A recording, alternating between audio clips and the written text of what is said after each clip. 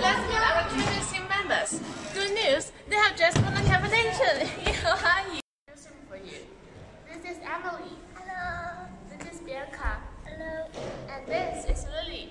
Hello. Everyone say hello. Hello. I used to be a member of this cheerleading team myself six years ago and I really enjoyed the feeling of cooperating with team members and traveling around attending competitions.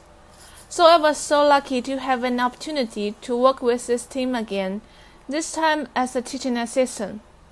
I shared my experience with my lovely team members, and I learned a lot from it as well. Actually, I took part in the choreography of this section, and I'm really proud of it. This was such a valuable experience for me, and I have never thought about quitting, no matter how much workload I have.